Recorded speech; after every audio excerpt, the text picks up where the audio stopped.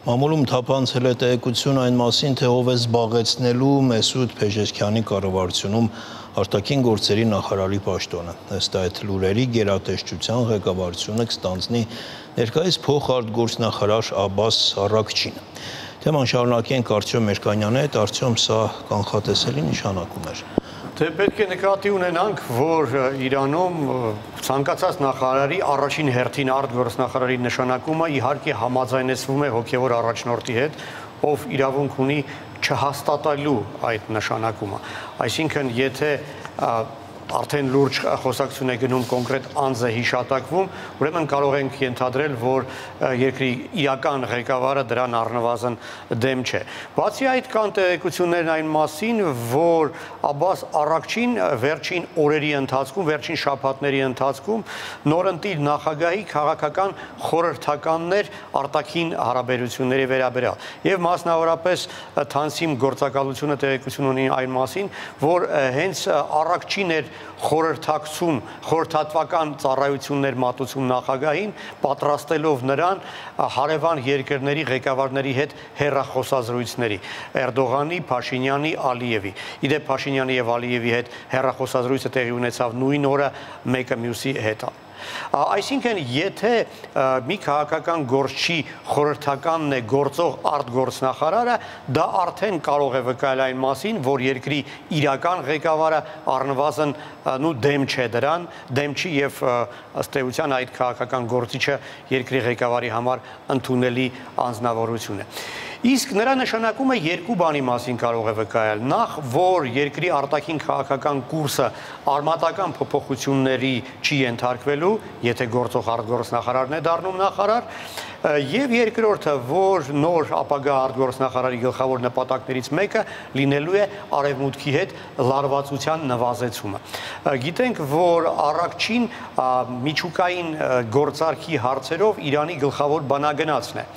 Այսինքն, եթե նախագահը, եթե երկրի ղեկավարը համարում են, որ այժմ պետք է հենց այսպիսի գործիչ, ով արևմուտքին ծանոթ է, ով արևմուտքի հետ լարվածության նվազեցման ջատագով է եղել, ուրեմն դա նշանակում է, որ այդ հարցը հաջորդ կառավարության կարևորագույն հարցերից մեկն է լինելու եւ կարող ենք ակնկալել արևմուտքի հետ արճակատման նվազեցում։ Եթե Նիկոլ Փաշինյանը մեկնի Թեհրան երթունակալության արարողությանը մասնակցելու, իսկ ես կարծում եմ կմեկնի, կարծում եմ նա Աբաս Արաքչիի հետ անձամբ ծանոթանալու հնարավորություն կունենա։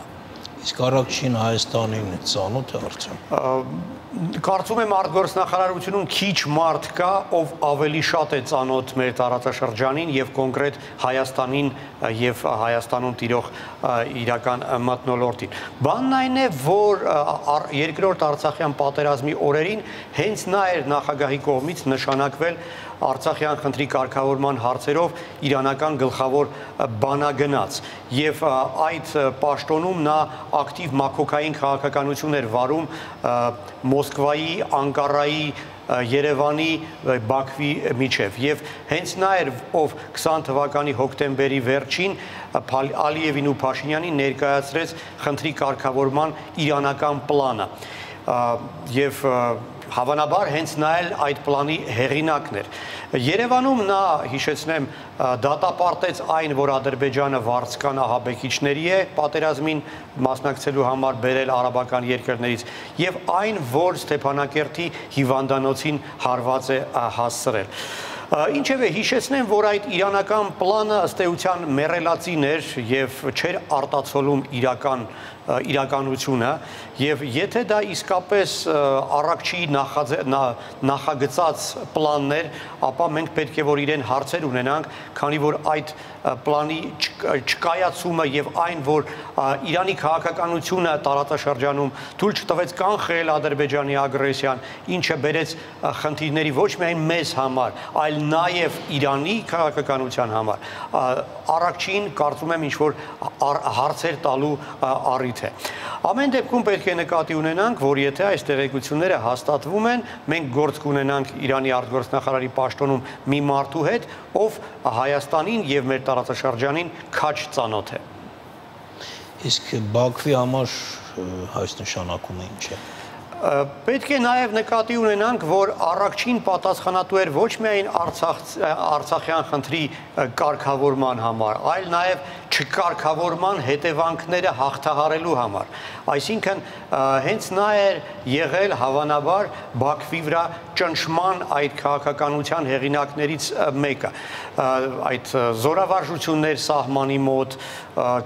դիվանագիտական դեմարշներ, Ալիևին հավատարիմ քաղաքական գործիչների մեկուսացում եւ այլն։ Եվ հենց առաքչին էր Իրանի համար նոր կարմիր գծերի գծման հեղինակը։ Այդ կարմիր գծերը գիտենք, հա, որ Հայաստանը չի կարող զրկվել Իրանի հետ ընդհանուր սահմանից, որ չի կարող լինել սուվերեն կորիդոր միջանցք, որը պետք է կկապեր Ադրբեջանը Նախիջևանի հետ, որ չի կարող ոչինչ սպառնալ Հայաստանի տարածքային ամբողջականությանը եւ այլն։ Եվ այդ ամենը հաշվի առնելով, կարծում եմ Բաքվի իշխանությունները նաեւ պետք է մտահոգություն ունենան այդ